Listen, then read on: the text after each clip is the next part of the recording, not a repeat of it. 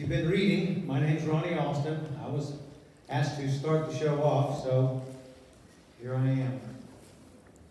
What a great day. I drove an hour and a half to get here from my home up in Daytona Beach, Ormond Beach.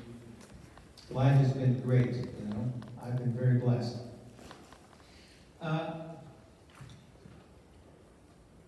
before we get started, I got to tell you quickly. The first one of these I came to years ago was in Jacksonville, and something that impressed upon me immediately was that we started the meeting with prayer. So, folks, we're going to start this meeting with a prayer. Yep. All right? If you bow your heads. Heavenly Father, we thank you for this day. We thank you for the blessings of being here as a Retriever family. We thank you for the business that you've given us. Father, we just ask that you bless each and every heart and soul here today. Bless the speakers that are going to be speaking, that you give them the words of wisdom and the gift, Lord. And we just ask that you bless this entire event. In Jesus' name, amen. Amen. Amen. I claim that. So, Tony, hey.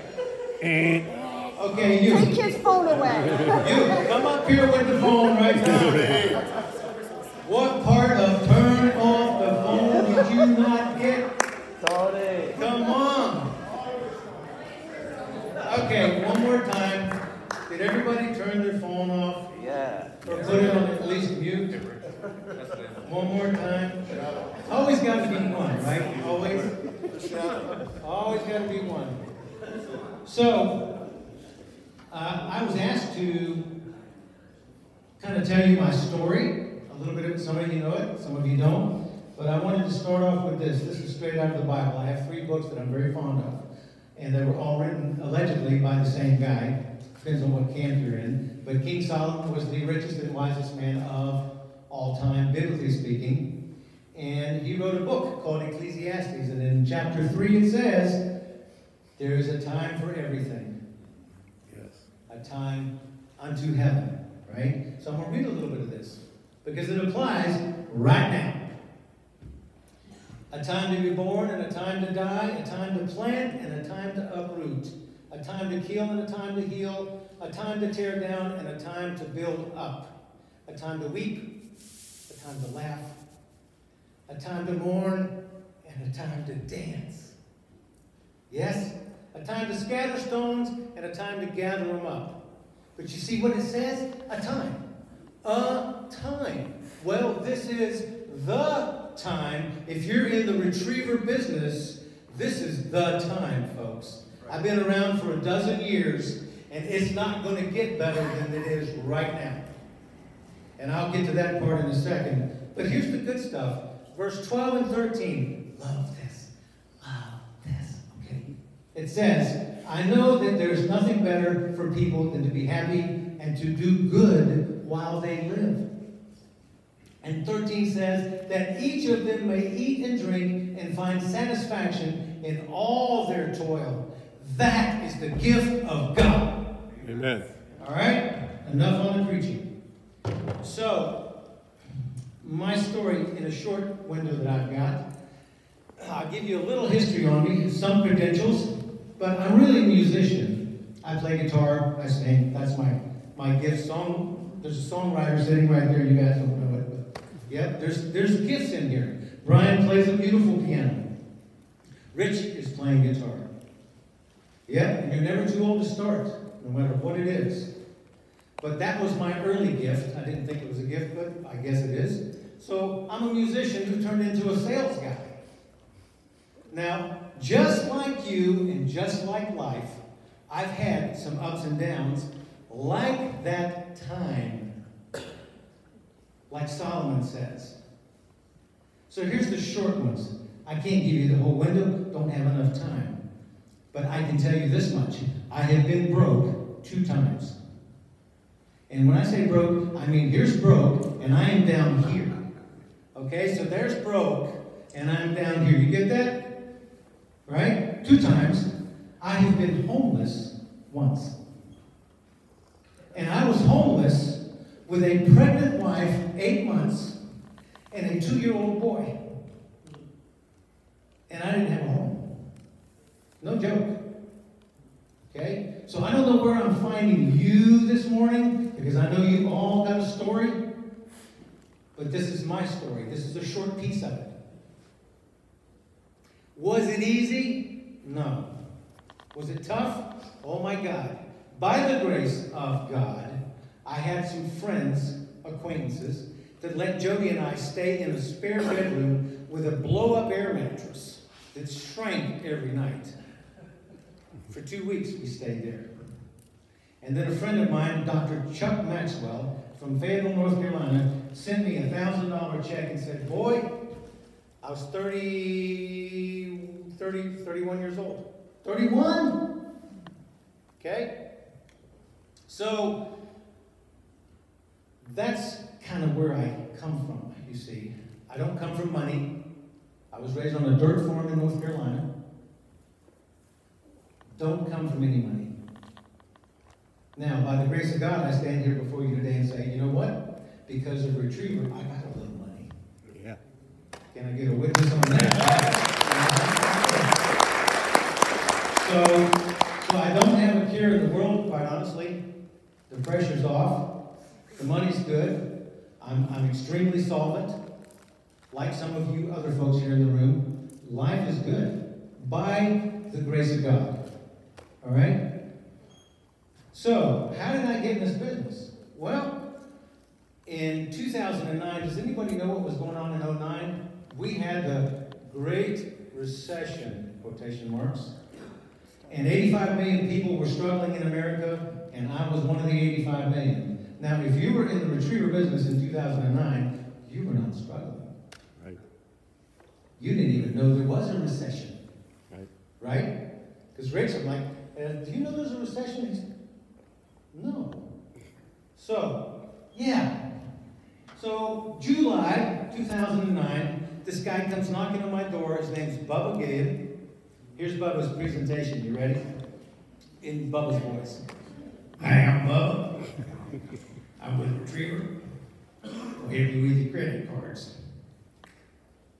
That's the pitch, isn't it? I mean, come on. I, I, Bubba, can you come back in 30 minutes? We're going to finish this lunch we just got in this big dusty warehouse. And come back and see me in 30 minutes. I'll listen to you. Because I did have a merchant account. So Bubba came back in a half an hour. Jody and I went to this 100 square, you know, 10 by 10 square room that had a desk and a little air conditioner about that big. And we stood in there. and Bubba looked at my merchant statement and he says, Well, I can help you. Let me back up just a little bit. I'm struggling, guys. I'm bleeding five to 10 grand a month. I have inventory, I have floor plans, I have issues. I have a deputy sheriff serving me foreclosure papers. It's not a pretty situation. This is 2009. Okay? And Bubba says, Well, you know, we with this and help you with that. And I've been praying, God, could you send me something? A little, a little help would be great, God.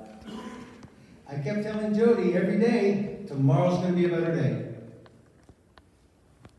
Time, right? To everything. There's a season, time. So, I listened to Bubba, and I said, Bubba, I got three questions for you. Here's the first one. How long you been doing this? "Ah, About five years, something like that, four five. You got a family, Bubba? I do. Now picture this. My wife is sitting at a desk, Bubba's standing here, and I'm standing here.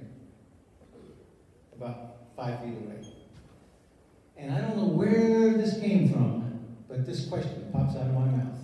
Bubba, do you make a residual doing this? And I get this pause, you know that, you know the pause, right? Should I answer that question or not? Pause. And he goes, Well, as a matter of fact, I do. I said, Great, I want to go to work for your company. And he says, Are you kidding? And Jody goes, No, he's not. so that's how it started, guys. The then it gets interesting. I said, Bubba, I don't know, I, zero due diligence on my end. This is called trusting in the Lord, folks. Did, I didn't check on Retriever. I didn't try to see who Brian Kempster was. Didn't have a clue who Rich Norton was. But guys, I rode for two days with Bubba. Listen to this. Bubba, we rode from 9 to noon, had lunch. What do you think? I like this. Uh, I, would like to ride with you again, Bubba. So we ride from 9 to noon. Bubba has long work hours. Figure that out? I don't know what happened after, after that. But from 9 to noon, we had lunch. And he says, What do you think? I said, Yeah, I can do this. I can do this. I said, I just want to write out what it is you say. It was a little bit better, you know, when, he, when I wrote it out. But I copied his speech. And I memorized it. So that when I walked in, I could walk in to Sean and go, Hi, how you doing today? My name's Ronnie Austin. I'm with Retriever, with a member bank for Visa, MasterCard, and yada, yada, yada. And I had it down like that, man. I could say it. And I walked in and I do that. Well, the first merchant that says, Oh, yeah, sure. And he goes and gets me a statement and hands it to me. Oh, God. Uh, so I got the statement, right? So then I, I said, well, I'm going to go down to the end of the counter down there, and I'm going to uh, just kind of put, do some ciphering here, you know. And I stared at that thing, and I stared at that thing, and I stared at it some more, and, and finally, it's like it, it, it came up into my face, and I went, oh, I, I understand it. It did. And I'm like, oh. So I scribbled it all out, gave it back to the guy. Here's what he says. Well, I'll give it to the owner when he gets back in a month. I'd probably spend 45 minutes to an hour at the end of that sales counter, you know, trying to figure this thing out. So that was my my deal, man. You know, I went out. I still had my car business, by the way, when I started this business. So July to December, I wrote 35 deals part-time. Let's do the math. That's five or six a month, right? Part-time, part-time, because I still had my car business. I was an independent car dealer, just so you guys know. Yeah, one of them used car guys. Mm-hmm. uh, so I called, I, I, met Rich. This is funny, because you'll appreciate this, Bob. I, I met Rich. He called me. He goes, Hey, Bubba's not with us anymore. He's moved on to some greener pasture. Bubba went into some telemarketing thing. Rich called me and says, You know, you're with me, and I want to meet you. So I meet him up in uh, St. Augustine. And here's the funny. You want to hear funny? He opens the trunk of his car. I forgot what he gave me, but he gave me some, like a little pitch book or some stuff to add to it. And, uh, and he shuts the trunk and he says, By the way, um, You used car, you car people don't generally do real well with this business. okay? And he said, boy, huh? So, so anyway, um, we get back in the car, we're heading back home. Jody goes, he obviously doesn't know you, does he? I don't know, I guess not, baby. So, long story short, I jumped in, wrote a few more deals. In December, I called Rich and I said, Rich, because, guys, I'm still bleeding. I'm making a little money now, but I'm still bleeding. I called Rich and I said, Can I make $100,000 next year? That was just kind of a number I could reference in my head because I'm bleeding 100 right now. So if I could just get back to even, 100 more would be, oh, oh, wow, right? Here's what Rich says. Well, if you can't make $100,000 next year if you go full time, something's wrong. That's all I needed. And that was the word of encouragement. Those were the words, right? It's all about the words, guys. So, what did I do? I told my wife, my son, I'm closing business. We're going to phase it out. I'm done January 2nd. These feet are hitting the ground, and I'm never looking back. Never. And guys, I haven't looked back. So I'll just tell you, this is being transparent, okay? not braggadocious, but I made over $300,000 that year. I was in the President's Club. Kempster was kind enough to give me $7,500 and six and seven nights for staying in Puerto Rico. Rich gave me another night. Life is good. I went from broke as hell to all of a sudden I got some money. And then here's the best part. I had one terminal to sell called a VX510. No point of sales, no clovers, no nothing. Rich remembers this.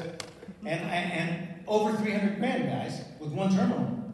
because I got out and knocked on every door that was available without. And now, did I get rebuttals? Yes. Did I get cussed at? Did I get thrown out? Yes, I did. Here's the moral of the story you're going to get rejection, you're going to get told no, but I'm telling you today, I'm standing here going, just keep doing it. Yes. Yep. So, I have walked the beaches of the world with that man, that man, that man, that man, that man right there, who I'm going to introduce to you right now. It has been the journey of a lifetime, folks. And I cannot tell you how excited I am to be here once again for the 12th time. Can I get a witness? This is great. Yeah. right? So, so without further ado, the man has really created a family. It doesn't get any better than this, people. I don't know what businesses you might be looking at or thinking about or maybe investing in. That's all good. That's all good. But your asset is right here, right now, with Brian Kempster. Come on up, Brian.